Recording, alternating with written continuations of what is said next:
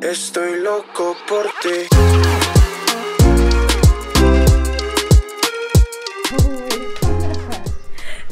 Hey guys welcome back to the channel I hope তোমরা সবাই খুব খুব ভালো আছো। যারা আমাকে নতুন দেখছ, হ্যালো আমি Priyanka from the city of joy Kolkata. পুরো ভিডিওটা দেখো তো, এখানে বসে কাজ করছে আর আমাকে জ্বালাচ্ছে, কাজই করতে দিচ্ছে না। বাই দ্য ওয়ে যারা আমাকে নতুন দেখছ হ্যালো আমি Priyanka from the city of joy Kolkata পুরো ভিডিওটা দেখো যদি এরকমই বাংলা ব্লগ পছন্দ হয় তবে চ্যানেলটা সাবস্ক্রাইব করে ভিডিওটা অবশ্যই একটা লাইক করে দিও।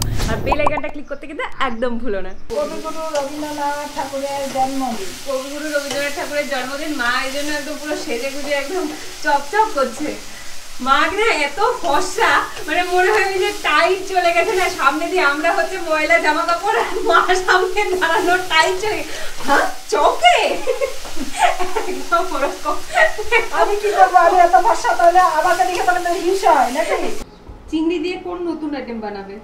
এখন বলব না। ও একটা সিক্রেট রেখে দিয়েছে? কি যে বানাবে? বলব না যাই বানা খুব একটা ভালো জিনিসই বানাবে কারণ মার রান্না দারুণ সুন্দর। তো যতদিন আমরা শিলিগুড়িতে আছি ভালো ভালো রান্নার রেসিপি তোমরা দেখতে পারবে। আজকে তাহলে এই রেসিপিটা শেয়ার করব। ওরা খাবে আর তোমরা দেখবে। আমরা খাব তোমরা দেখবে। না ওরাও তো বানিয়ে দেখ খেতে পারবে। আগের ভিডিওতে তোমরা অনেক সুন্দর সুন্দর কমেন্ট করেছিলে আর তোমরা কয়েকজন বলেছিলে যে ভিডিওতে তোমাদের নাম নিতে। তো আজকে ভাবছি যে মার সামনে মাকেও কমেন্টগুলো পড়ে শোনাই। মারও ভালো লাগবে। তাহলে এই যে ক্যামেরা সাইনেসটা আছে না ওটা আস্তে আস্তে চলে যাবে। কারণ ক্যামেরার সামনে শোনাচ্ছি।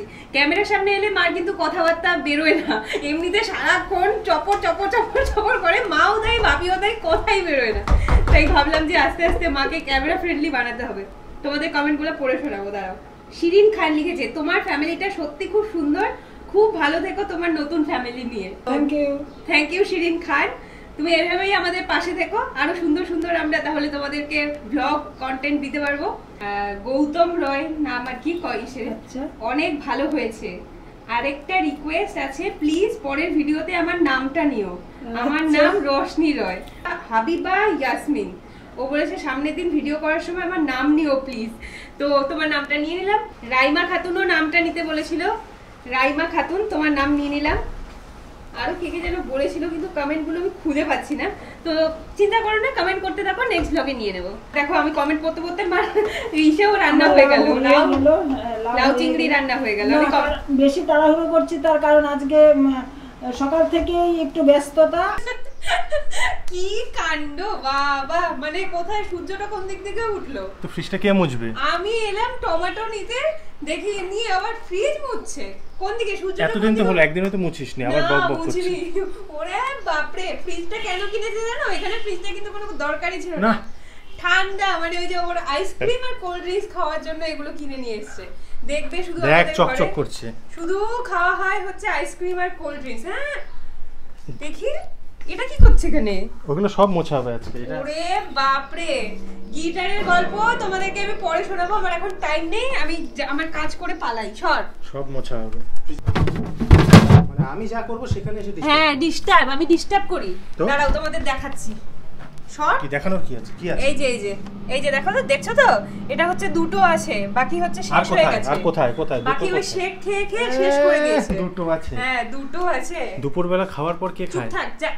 আমি একদিনও খেয়েছি। একদিনও খাওয়াসনি তুই আমাকে। তুই একদিনও আমাকে না। দিসনি ফালতু কথা বলিস না। ঠিক আছে যা টাক টাক কর আজকে দুপুরে এবার তো বলো কোন সিক্রেট রেসিপিটা বানাচ্ছো? চিংড়ি মাছের কোপ্তা মালাইকারি। কোফতা মালাইকারি? হ্যাঁ। এখানে কি চিংড়ি মাছ এটা? চিংড়ি মাছ হ্যাঁ চিংড়ি মাছটাকে পেস্ট করে নিয়ে আসলাম মিক্সচার মেশিনে পেস্ট করে নিয়ে আসলাম।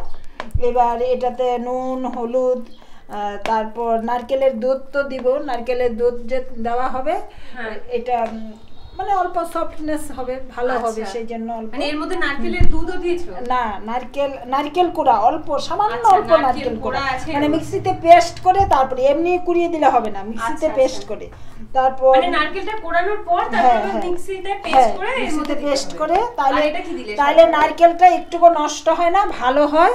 আচ্ছা, আচ্ছা। নারকেলের দুধটা এক ফোঁটাও নারকেলটা অপচয় হয় না। আচ্ছা আচ্ছা। চালের গুঁড়ো। আচ্ছা এর মধ্যে চালের গুঁড়ো দিলে। তাহলে একটু ওই যে মানে একটু হার্ড হবে তাই তো? হুম, হুম, শক্ত এর জন্য। binding এর জন্য। এই তুই কি করিস? ওখান থেকে দেখো মনে হচ্ছে যে চোরের মতো উকি মারছে। যা কি? গিটারটা নিয়ে দেখতে। গিটারটা নিয়ে আরে না বলে বিচ্ছিরি চিংড়ি। কি এটা? ছি ছি। চিংড়ি চিংড়ি। এরকম কেন? চিংড়ি মাছের কোফতা মালাইকারি হবে। মা কিন্তু এরকম অনেক নতুন নতুন রেসিপি জানে তো তোমরা যদি এরকম রেসিপি দেখতে চাও তাহলে নিচে কমেন্ট করে জানিও। আর আমার হাতের রেসিপি যদি দেখতে চাও তাহলে নিচে একদম comment- কমেন্ট mention করবে পুরো না আমার নাম একদমই না। আমার হাতের recipe। ওর হাতের রেসিপি খেলে তোমাদের কি হবে আমি জানি না। আচ্ছা যাই হোক তোমরা কমেন্ট করে জানিও তাহলে রেসিপিগুলো শেয়ার করব। নইলে তো বোরিং লাগবে হয়তো তোমাদের তাই আর শেয়ার করব না। যদি ভালো লাগে তাহলে অবশ্যই আমার ছেলে খেতে ভালোবাসে। আর রাখতেও ভালোবাসে সেটাও বলো। রাখতে ভালোবাসে? না। খেতেই ভালোবাসে। কোনদিনও রান্না করেছিস? হ্যাঁ করেছিস? যে ল্যাপটপে কাজ অবশ্যই করে সে রান্নাও করে। না না অবশ্যই রান্না করেছিস কিন্তু সেটা তুই একাই খেয়েছিস। আমাদের তো আর খাওয়াসনি কি করে জানব? খাওয়া একদিন রান্না করে। এখন নারকেলের দুধ বের করছে। দেখো এভাবে বাড়িতে নারকেলের দুধ বের করে নিতে পারবে। বাজারে নারকেলের দুধ কি দাম? আর নারকেল নেই? নারকেল এতটুকু? পোড়ানো নেই? না। আমি ভাবলাম একটু খাব চিনি দিয়ে। হ্যাঁ তুমি তো শুধু খেতেই আসো। আবার বলে আমি রান্না বাজারে প্যাকেটের দুধগুলো তো ওগুলো মেডিসিন দেওয়া থাকে না। হ্যাঁ। হ্যাঁ, এটা তাহলে- ফ্রেশ একদম বাড়িতে করে নেওয়া ওটা টেস্ট নেই। আর একদম অল্প থাকে তো। অল্প থাকে তাছাড়া খেতে খাওয়ার একদম টেস্ট নেই আমি খেয়েছি। আচ্ছা ফাজিল কড়াই বসে গেছে কড়াইয়ে রিফাইন তেল দিয়ে এই যে অল্প অল্প করে চিংড়ি মাছের ওই পেস্টটা নিয়ে অল্প অল্প করে এইভাবে ভেজে নিতে হবে। মানে কোফতা বানিয়ে নিতে হবে। এই যে এরকম হালকা বাদামি করে ভাজতে হবে সবগুলো। আচ্ছা। এই এইটার মতো। এগুলো না এগুলো আর একটু হবে এইটার মতো। হ্যাঁ। দুই পিঠে এরকম হবে.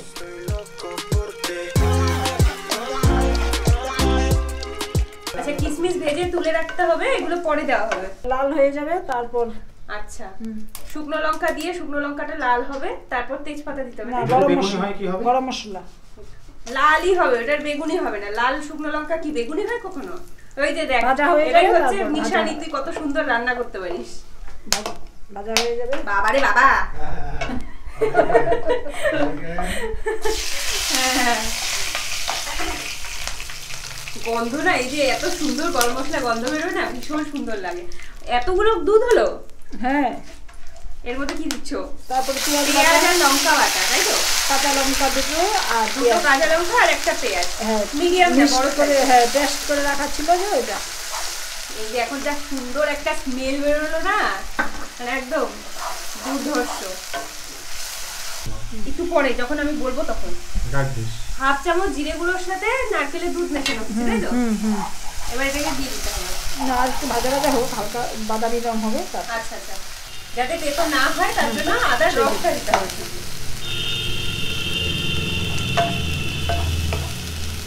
আচ্ছা এখন হলুদটা দিতে হবে হলুদ তো হলুদও কিন্তু খুবই অল্প। হলুদ বেশি দেওয়ার দরকার নেই এখানে। তাহলে ওই যে একটা সুন্দর ধূপটা দেওয়ার পর একটা জামি কালার আসবে। আমি এখানে এক চামচ চিনি দিচ্ছি তার কারণ চিনিটা দেওয়ার পর চিনিটা ভাজার মধ্যে দিলে একটা সুন্দর। হ্যাঁ কালারটা ভালো হ্যাঁ। আসে। যখন দেখব ভাজা মশলাটার উপরে তেল বেশি উঠেছে তখন বুঝতে হবে যে না এটা ভাজা হয়ে গেছে আর এমনিতে গন্ধ একটা বের হবে হ্যাঁ, এতে হ্যাঁ। বুঝাই যায় যে হ্যাঁ হ্যাঁ। এখন আমি নারকেলের দুধটা দেবো। আচ্ছা নারকেলের দুধটা এখন দিয়ে দিতে হবে। আমার মনে হচ্ছে আমি ব্লগিং কাপলের এই ভিডিও বানাচ্ছি। এজন্য বলে হ্যাঁ এটা হোক ওখান থেকে তুমি এটাকে যখন নাড়াবে তখন ওই দুধ থেকেও আসবে। এবার দুধটার মধ্যে ওই ভেজে রাখা যে কোফতাগুলো ওগুলো দিয়ে দেওয়া হয়েছে। আর সাথে কিশমিশটাও যেটা আগে ভেজে রাখা হয়েছিল। তোমরা যদি চিংড়ি মাছের মালাইকারি লাল যেরকম হয় ওরকম লাল করতে চাও তাহলে এটাতে কাশ্মীরি লঙ্কার গুঁড়ো দিতে পারো। কিন্তু আচ্ছা, আমি সাধারণত দেই না আমি কোপ্তাকারিটা এরকম একটু সাদাই রাখি। আচ্ছা, আমি আচ্ছা। কাশ্মীরি লঙ্কাটা দেই না। এটাকে এখন ঝোলটাকে শুকাতে হবে তো? হুম জলটা শুকাবে। আচ্ছা। জলটা শুকাবে সাথে ওই বলগুলো সেদ্ধ হবে ভালো। ও বলগুলো ফুলে উঠেছে না? হ্যাঁ ফুলবে তো। এই লকডাউনের মধ্যে আমরা আছি তো মা আমাদেরকে নতুন নতুন কিছু প্রত্যেক দিনই বানিয়ে বানিয়ে খাওয়াচ্ছে। মানে আমিও করছি মাও করছে দুজনে মিলে অনেক কিছু এক্সপেরিমেন্ট করছি। তো তোমরা যদি এই রেসিপিগুলো দেখতে চাও নিচে কমেন্ট করে জানিও কারণ আমরা তো জানি না যে তোমাদের এত ভালো লাগছে কিনা রেসিপিগুলো মানে তোমরা রেসিপি দেখতে চাও কিনা তাহলে কিন্তু করে দেখাবো। কি মা দেখাবে তো? হ্যাঁ অবশ্যই দেখাবো। তোমরা কমেন্ট করে জানিও হ্যাঁ। দেখতে চাও কিনা। হ্যাঁ নাহলে আমরা তো জানি না যে তোমরা আদৌ দেখতে চাও কিনা। যদি দেখতে চাও তাহলে অবশ্যই বানাবো। এর মধ্যে ঘি দিয়ে দিতে হবে। সুন্দর একটা স্মেল আসবে। ঘি আর গরম মশলা দিয়ে পরে নামাতে হবে তাই তো? ঘি আর গরম মশলা এই যে গরম মশলা দিয়ে দিলাম গরম মশলা ফুটনে দিয়েছি এখনও সামান্য হালকা গরম মশলা গুঁড়ো। হ্যাঁ। টেস্ট করে দেখলাম টেস্টটাও কিন্তু হেভি হয়েছে।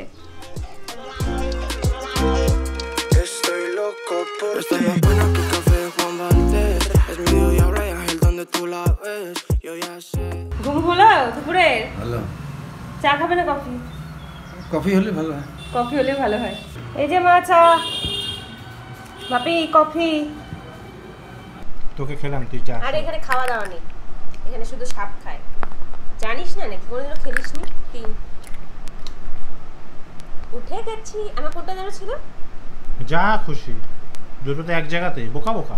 আরে বোকা বোকা বললাম নে না, যেটা ইচ্ছে নে না, নীলটা। নীলটা নিয়েছিলাম। তিন পড়ল না? উঠে গেছি। এই উঠলে আবার মারতে মারা যায়। উঠলে আবার মারা উঠলে আবার মারা মারা আছে এক, দুই, তিন চার পাঁচ উঠলে আবার মারা আছে সিরিয়াসলি। যত সব তুই চিটিং করছিস উঠলে মার আছে মার তো যত ভুলভাল সিরিয়াসলি বলছি উঠলে মার আছে তুই তুই কিন্তু এটা চিটিং করলি। আছে আছে ও মিথ্যা কথা বলছো আমার সাথে চিটিং করছে। আমি ভুলে গেছি।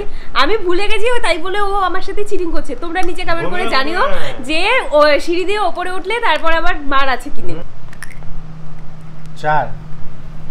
ও বাবা কি করলি তুই এটা? চার এক দুই তিন চার। কোথায় ছিল? চল্লিশ। চল্লিশের থেকে এইখানটায় একষট্টি একান্নতে কীভাবে চলে আসলি তুই? চল্লিশ। ওহো। দুই দরকার ছিল রে তোর। জন্য রে। মামা মিয়া। কি যে মামা মিয়া মামা মিয়া উঠ। মাম্মা মিয়া হা, হা। উঠছিল? তো পুটি তো বলল আমি তো আরেকবার মারবো। ও বাবা। মাম্মা মিয়া উঠ মাম্মা মিয়া তিন চার এই যে টাকা টাকা টাকা টাকা টাকা টাকা টাকা টাকা টাকা টাকা টাকা টাকা টাকা টাকা তুই আমার সাথে চিটিং করলি জন্য তুই জিতে যাচ্ছিস দুই দাঁড়া তোকেও খাবে দাঁড়া চার কোন দিক আমি না উল্টো করে বসে আছি আমি উল্টো করে বসে আছি তাই বুঝতে পারছি মাম্মা মিয়া উঠ ও মাম্মা মিয়া দুই হে ভগবান আমাকে কিছু বড় সড়ো দাও Uh, মাম্মা মিয়া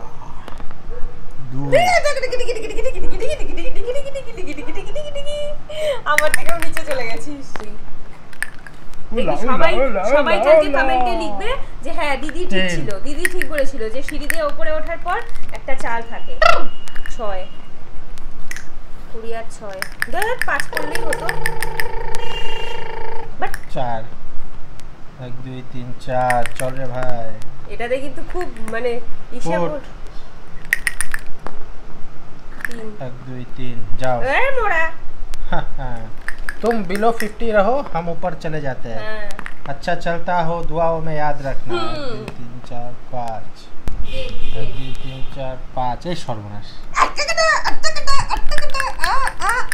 এক দুই তিন চার পাঁচ ছয় জয় শিবশঙ্কর ভোলেনাথ ভোলেনাথ ভোলেনাথ হ্যাঁ। পুটুস আরেকটা পুটুস আরেকটা পুটুস জি আরেকটা না এবার পুটুস। পাঁচ কত টাকার বেট লাগাবি বল পাঁচ পড়বে না পাঁচ